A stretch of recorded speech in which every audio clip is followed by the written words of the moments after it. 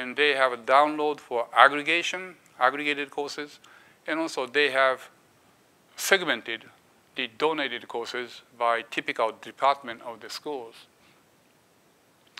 And in an aggregated ranking, at that time, always Michael Sandel was within top 10. And in this particular slide, which was taken about four or five years ago, he was ranked as a four.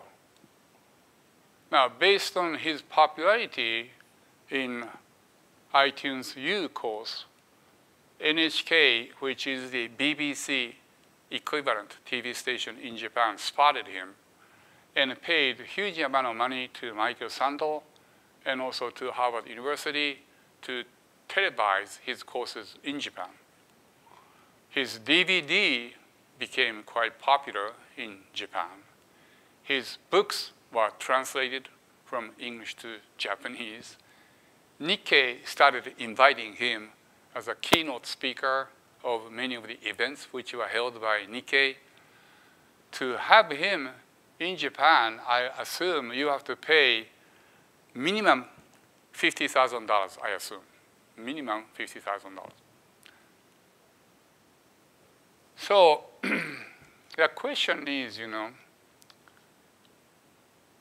for him and also Harvard, was it, a, was it a good idea to open source his courses? Obviously, if he didn't open source his courses, most likely only his income was a money from Harvard. He may have several consulting activities, but not really up to this magnitude, right?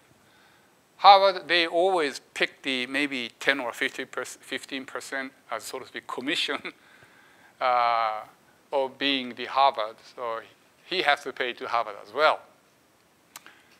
Well, fee on free business model works well for him. Oh yeah. And competition of contribution worked well for him. Harvard, oh yeah. Right? Apple, what the benefit? The Apple distribute iTunes U for free of charge. And you can see iTunes U courses even based on Windows-based PC. But like iPad or iPhone-like devices, only devices which are supplied by Apple, you can appreciate this course. So it's a fee-on-free. Steve Jobs collected all of these courses and distribute to the world for free of charge. And he get a large chunk of revenue out of these courses. It's a fee-on-free based business model. This is uh, Business Week equivalent Japanese business uh, magazine. And this is the cover story of 2011. And it says, power of Nintendo, can 3DS sales exceed smartphone in Japan? As I said, this is the 11, right? 2011. 2011, October 28th, Nintendo is losing money for the first time. So obviously, he didn't exceed the power of smartphone, but he is uh, losing a lot of money now. And now, Sony Computer Entertainment lost a lot of money based on PlayStation, which is both Nintendo PS, you buy software, right? Game software from the vendor, and you use it. The world of game uh, industry is changing that they, they distribute game software for, for free of charge. And within the game, you buy special power to kill the enemy or to jump the very high fence or something like that. So the revenue business model changed from selling software to fee on free. And this one is Sony, uh, again, again Nikkei, Sony Computer Entertainment considering free download and item charge for iPhone, I mean, so smartphone game software. They are very slow, very slow. The reason is Sony grew based on patent, based on IP-based business model. And they couldn't just understand the new paradigm shift based on open source movement. Number four, business model. In case of open source, vendors can set the level of services, level of services, services in any way they want. In case of Windows, even IBM is restricted because they do not know what the inside is. Do you know the warranty terms of the Microsoft, let's say for Windows? Have you ever checked the what kind of warranty services Microsoft provides to Windows, PowerPoint, Linux, uh, PowerPoint, Excel, all of these software they do, they sell. They say they warranty the software for 60 days after you purchase. In some countries, they say 90 days. The, what they guarantee is that the Windows will function as it is written in their manuals. They don't say they will solve your problem. Windows will be guaranteed to function in a way they describe in the manuals. The support, their services provided in a way that the Microsoft IT professionals will provide according to the document they have. And they don't say they provide services to solve your problem. And this is not unique to Microsoft. That is applicable to Oracle, all, so to speak, shrink, shrink uh, rack, shrink pack software package companies, software companies provide similar warranty restrictions. Therefore, even IBM is restricted. If IBM sells the computer system to, let's say, bank based on Windows, then obviously IT officer of bank will ask IBM what kind of warranty you will provide. Then IBM will say that the, all of the application programs which IBM developed, we can provide you any kind of services you want, providing you pay fee, money for us. But they will say always, but as far as Windows is concerned, we cannot provide you the services as our application programs because we do not know the inside of Windows. So upper limit is what Microsoft says over internet.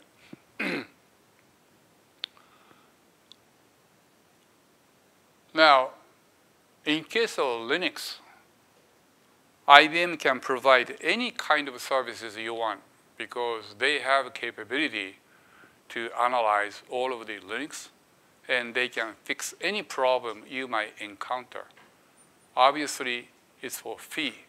And that is the money where IBM makes money.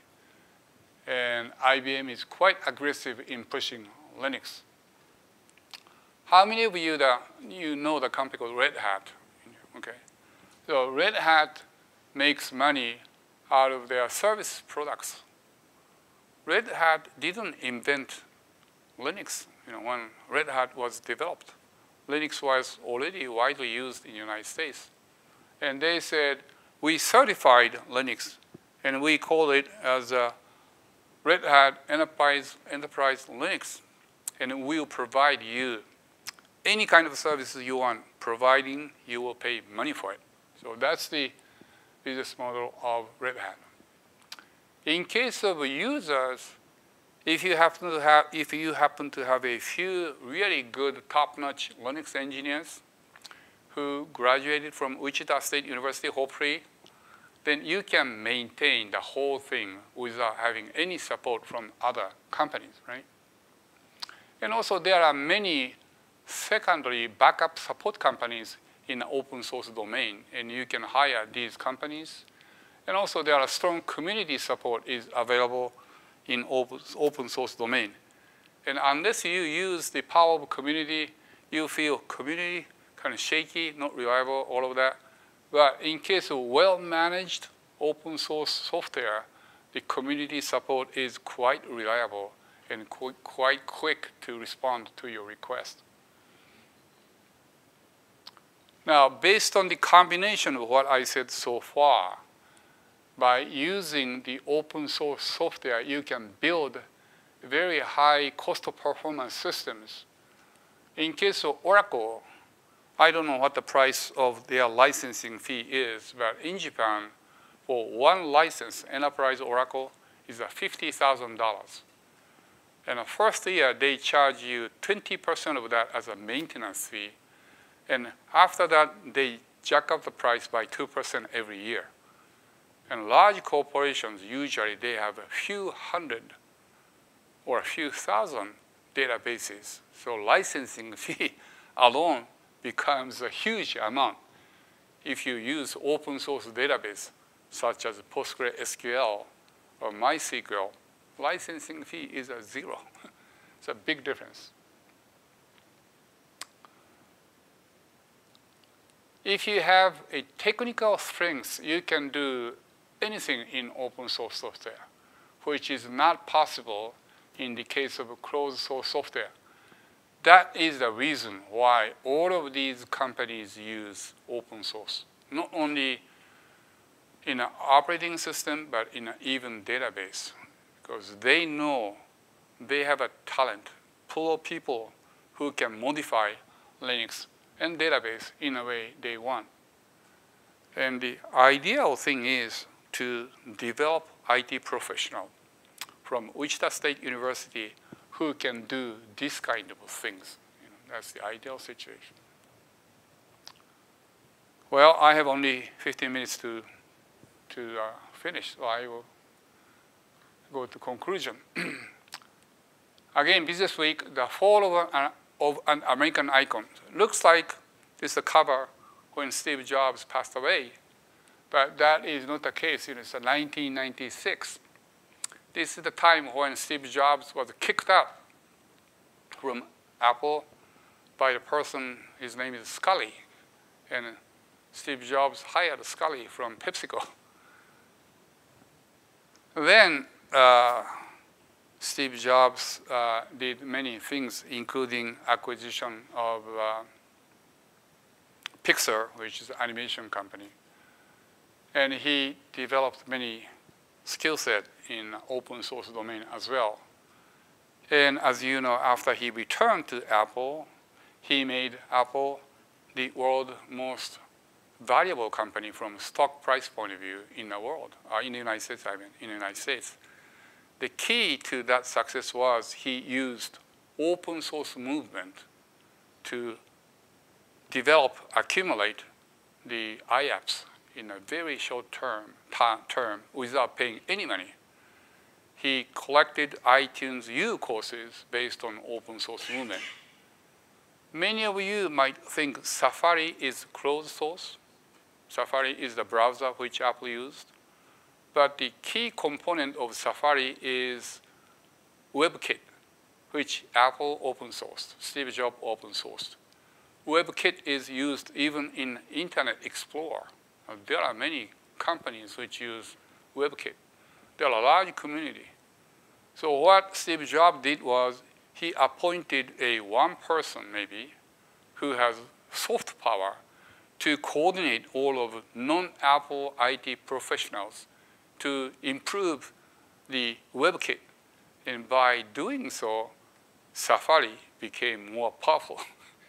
so it's a quite smart person, right? He did iOS, many people think iOS is a closed source, Unix-like operating system. That's true. But the, one of the important pieces of iOS is called Darwin. Again, Steve Jobs open sourced Darwin. And again, based on open source, I mean soft power, he used outside non-Apple people to improve Darwin, to improve iOS. So it's a very powerful tool which Steve Jobs used to recover Apple. This gentleman, his name is John Aker. Uh, he was the sales rep, uh, very successful IBM sales rep. He played a lot of golf as a sales manager. He's a little Santan in here. And he became the president and the I, a Business Week said IBM, led by a new CEO, it aims top 185 billion in sales by 1994, making it the world's biggest computer company and many other things. But three years ago, uh, three years later, his santan went away. His skin became pale. And this says, just as John Aker became chairman three years ago, the computer giant went into its worst profit slide. Now his plan to rejuvenate the company is in place. Will it, will it work? And didn't work. Therefore, board members kicked him out. Then he invited a person whose name is Lou Gerstner. And he was the chairman of Nabisco. He was the chairman of American Express. He was a partner of McKinsey uh, consulting company.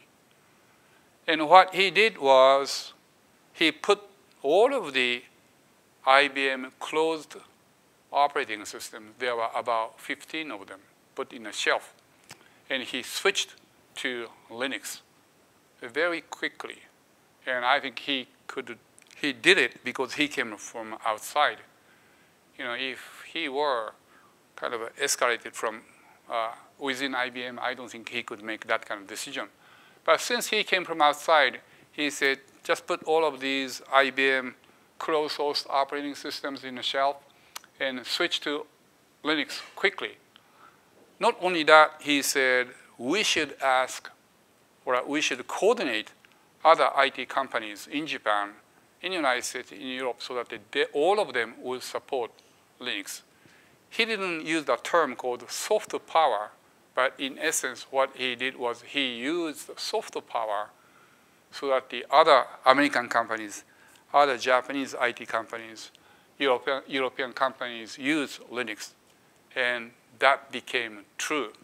There were several exceptions, but that came true. And as I said, in an open source movement, largest contributor get the largest return. Now IBM generate the largest revenue and profit out of Linux-related system integration services. Do you know this person? Scott McNealy. I assume WSU has the Sun Micro systems, hardware and software. But this gentleman, his name is Scott McNealy. He was the founder of Sun Micro, which was the largest company in the field of Unix. Uh, their software was called Solaris. And in 1996, this company is really skyrocketing so Sunrise and Scott McNealy. Six months later, the cover became black and white. And will Sun rise again? He didn't. He didn't. And he tried to sell his company to IBM. IBM declined.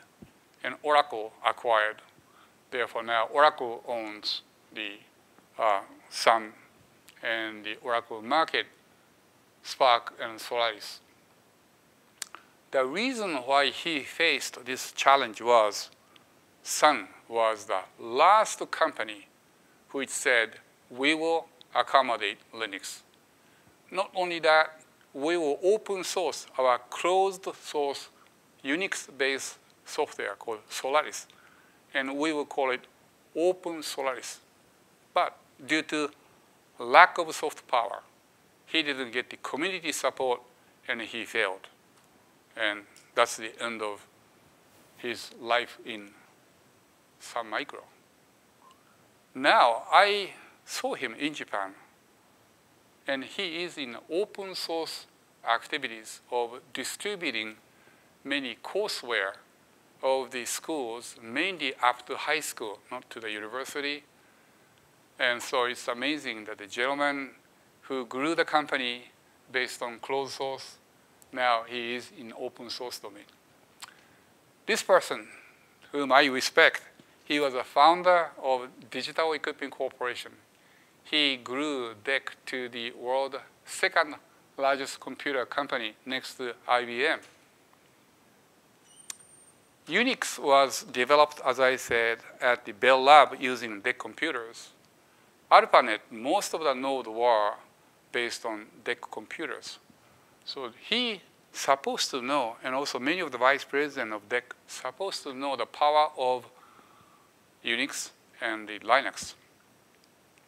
But their success was closed source operating system such as VAX VMS and couldn't